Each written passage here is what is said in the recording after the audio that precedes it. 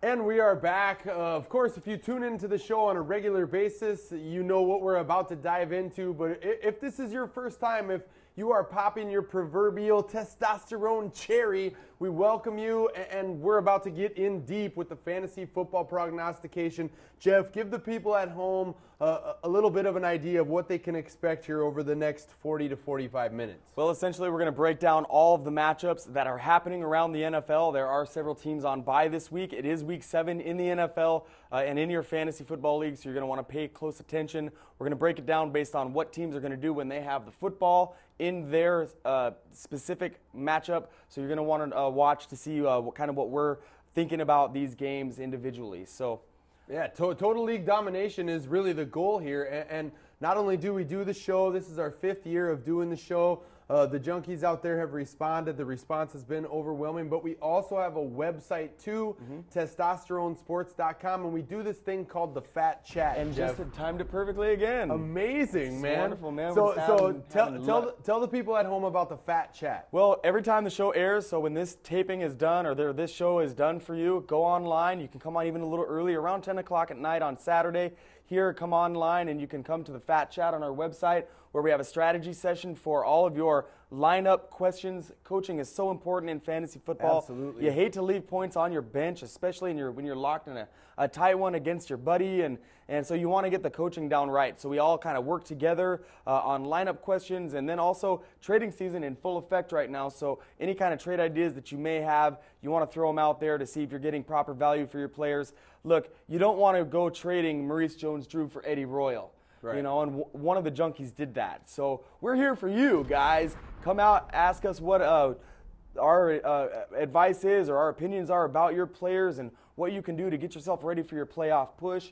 Do that on the Fat Chat. It's our way to interact with you guys. It's all about building relationships for right. us. We, we, always wanted to do this show with our friends, and and uh, we want those guys to be you guys. So work with us, help us, help you by coming on to testosteronesports.com, coming into the Fat Chat, and saying what's up.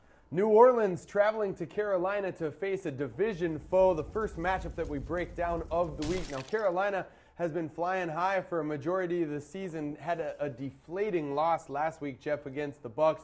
They came out flat. They only scored three points. They really never got it going uh, in the run game mm-hmm. or in the pass game. But here they're at home against the Saints D that can be exploited from time to time. And we know the Saints are going to be going on offense. So when I look at this game, I think we could be about to see some fireworks here in a divisional matchup. Well, and you hope so because Carolina, like you said, they came out totally flat at Tampa Bay a divisional game where they needed to win. Uh, the division is wide open there in the NFC South. So you know that they're going to want to perform well here coming off that loss. Now they're at home. They face another division rival. The Saints are there. I'm pimping the Bush jersey because I love what the Saints do in their special teams.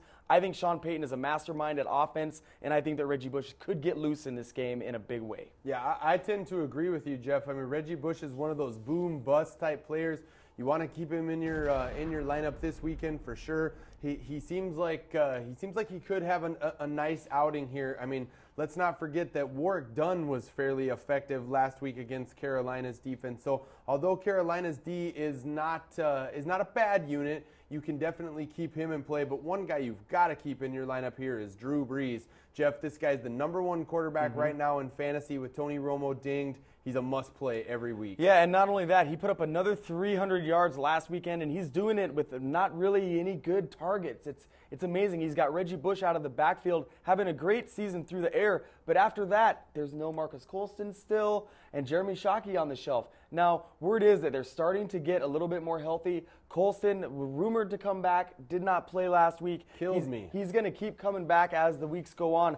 Shockey might play in this game, but don't expect very much production out of their playmaking tight end. Yeah, I agree, Jeff. I think if Shockey does play, you would be foolish to start him because Agreed. you don't know uh, how many plays he's going to play, and he's always been one of those guys who uh, has a tendency to get dinged and then you know just kind of peter out. So, but on the flip side, on Carolina's side of things. I think that the Panthers are going to get it going here. New Orleans has been susceptible through the air. I mean, the Vikings did damage against right. them through the air. So I think this is a week that Jake Delhomme is very startable for fantasy owners. And Steve Smith owners have been patiently waiting for a week Steve Smith would explode. I'm wondering if that explosion might be about to come here, Jeff. I think Steve Smith could go off for two touchdowns. Well, he's a very highly talented playmaker. He had a, about 90 yards in last week's contest, and when your team puts up only three points, you're, you're kind of pleased to see that decent output. You know, this is a team that's supposedly very pride filled, so I'm surprised that they didn't come uh, and show up for the divisional game against Tampa Bay. Here again, I think that if they are, their pride's in check. They've got to rally together and, and see what they can produce offensively. It starts with the ground game, in my opinion. I'm surprised that Jonathan Stewart or DeAngelo didn't do much in last week's game. They have to get things going if they want to compete here against the New Orleans team who's winning without a lot of positivity. Tennessee brings their run heavy offense to Arrowhead Stadium this week, where the Chiefs are number 32 in the league against the rush, allowing 182 yards on the ground per game. LenDale White, a little ding through their bye week, but should play in this game. And Chris Johnson, Jeff, I think the rook could be off the hook. Yeah, he's going to get it going. I really love Chris Johnson. To me, he's got some of the biggest play potential of the rookie class, and he's dynamite when he's got the ball on the edge uh, with room to make a move. Uh, LenDale's still dealing with a little bit of the shoulder. They've been winning. They like him to move the pile, but his carries are continue uh, to be restricted, I think, and Chris Johnson right. should pick up the load.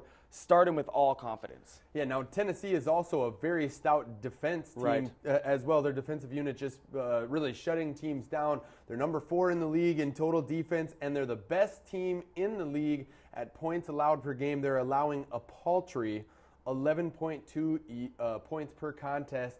Now, the Chiefs this week have no Larry Johnson. We don't know exactly why at this time, but he got into some sort of a domestic altercation, has assault charges pending against him. The Chiefs, with no Johnson and a disgruntled Tony Gonzalez who did not get traded, who seems like a recipe of disaster here for KC, if it, you ask it's me. It's going to be tough. Jamaal Charles will likely get the start for the Chiefs. Don't expect a whole lot. The Tennessee Titans awesome at stopping the run. They're also the, a top five passing defense, so you can't expect Kansas City to get much going through the air here either. And it's really kind of tough to say who's going to be under center for the Chiefs. Is it going to be Damon Huard? Is it going to be Brodie Croyle? For fantasy purposes, I say stay away. Yeah, it's pretty bad. Uh, it's pretty bad situation developing here, and you've got some uh, inmates kind of trying to run the asylum here with Tony Gonzalez speaking out, very uh, verbally lashing out at, at uh, Carl Peterson, the owner of the club, really just uh, kind of berating his owner and, and saying essentially, "Why didn't you trade me?" So Jamaal Charles sees an opportunity here. I had a chance to visit with that kid in the preseason when we went out to Chiefs camp. I just think it's a tough spot for a rookie to oh, go against uh, uh, such a stout D as Tennessee. Seattle going to go down to Florida and face off with the Bucs. Now Tampa is the only defensive club in the NFL, Jeff, to not allow a rushing touchdown. They're very stout against the run. Their their defense playing at a fairly high level across the board, and, and despite despite what you think about Tampa, they just continue to win, man. Jon Gruden's a hellified coach. Yeah, especially in games where you don't expect them to. They right. they come every time and Jon Gruden, like we mentioned about Lovie Smith earlier in the show, he always gets the most out of his players. Absolutely. And they've got some old wide receivers who have gotten hurt. Well, the young guys are kind of stepping up, and the older veterans who are on the team stepping up and doing a great job for their unit. Uh, it's nice for them. They come off a big victory. Uh, they're at home. They play much better at home. They face Seattle. I know Tampa Bay hasn't allowed a rushing touchdown yet, but has the Seahawks even got a rushing touchdown for their offense? Well, Seahawks were, had some explosive run games earlier in the year. I, I, told fantasy owners, I believe it was week two and week three, two weeks in a row, where I advised you to, to roll with Julius mm-hmm. Jones. Great dividends in those games. Here, Julius Jones, a complete non factor. He's a boom bust kind of guy. This is a bust week for them. Matt Hasselbeck probably on the bench. I Looking at this game, Jeff, I think the Seahawks could score somewhere between three to ten points. I don't like them at all. You can't play any of their players. Here. Yeah, I'm not real high on them either. And if, on Tampa, Tampa Bay side of the ball, uh, for fantasy purposes, this team doesn't yield a whole lot of production uh, for your team. So you got to kind of watch out. Uh, they're boom and bust. Uh, either you get 15 fantasy points out of Antonio Bryant or 1.5, right. uh, which is really tough to roll with consistently. Seattle plays a pretty good defense, and as far as the running game goes, you never can quite tell which back is going to find room to move. So right. I say stay away if you can.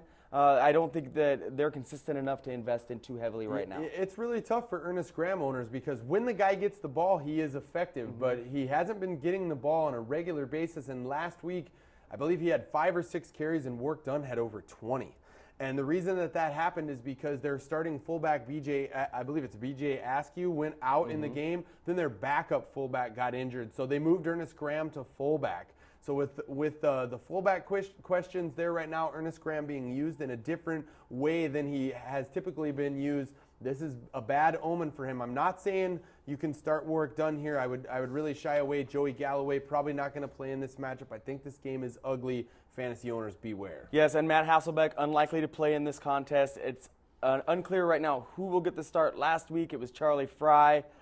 He's not very good. Seneca Wallace he's not very good either. Nope. So it's going to be a nightmare situation, and it, it's too bad for Seattle fans. Mike Holmgren kind of screwing the team over right before he retires. Now the Jets are going to travel to Oakland to square off with the Raiders. The Raiders are a run-first team, Jeff, and they're running up against the number three ranked run D in the league. The Jets allowing just 69 yards per game on the ground. I think this could be some tough sledding here for the Raiders. What do you think, Jets Oakland. Well, McFadden finally feeling uh, more like 100%, and I do think that the Raiders will get things going on the ground. They are a run first offense, and, and that's just what they're going to focus on. JaMarcus, not that good through the air yet. He's still developing. I like his abilities as an athlete, uh, but right now it's taking him time to process mentally. Uh, and, you know, and so I think they're going to run the ball a lot, and I like them to get things going. But you can't tell in this matchup which back is it going to be Fargas or McFadden. Here again, you, you might have to roll with one or the other. Tough to say which one to go with. Now, Brett Favre fans, you were elated back before the bye week. He comes out huge game. Last week, really coming back to earth. So it's kind of tough to read the tea leaves as far as Brett Favre is concerned. It seems like so far in his Jets career, he's lacked that consistency where he's throwing for 240, 250, and a pair of touchdowns every week. Although I do think that's about what he gets in this contest, Jeff. I, I like him to hook up with Jerricho Cotchery once and probably to somebody else once. We mm-hmm. saw Thomas Jones get it done last week, three touchdowns. I know you're a Jones guy. Is Jones going to do that again? I definitely think so. He got into the end zone twice last week. There, uh, three kind of, times, twice well, on the run, yes, once in the pass. Right, but on the ground specifically, that's kind of what we're talking about. Jones uh, moves the ball uh, between the tackles fairly well, and I really like what they've got going on with Tony Richardson, who opens the holes for him. Richardson, one of my favorite players in the NFL right now. He's a pack your lunch and come with your hard hat on. We're going to knock heads and move the ball the hard way. Good old fashioned hard nosed football, and I think that continues here. Oakland, decent at stopping the run, not great, and the Jets are going to roll with the run.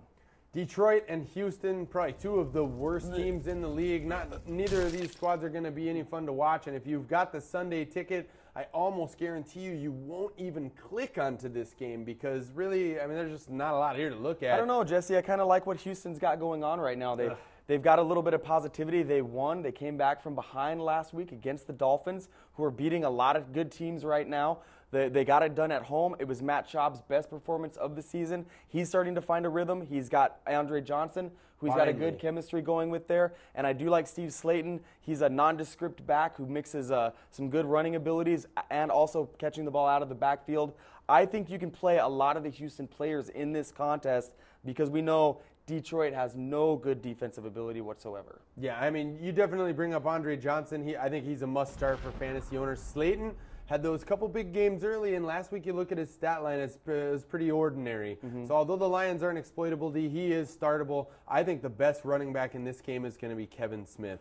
And I'll tell you why for the Lions because he ran well last week against us. One good run. And, and, yeah, had a good run against the Vikes, which are a formidable run D.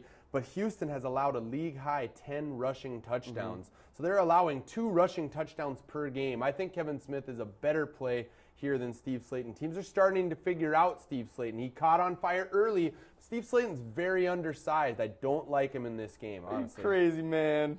We'll you're crazy, you, man. You just nailed I like you, you man. You're, the, you're, crazy. You just put the nail in his you're coffin crazy, man. That. I'll tell you what, dude.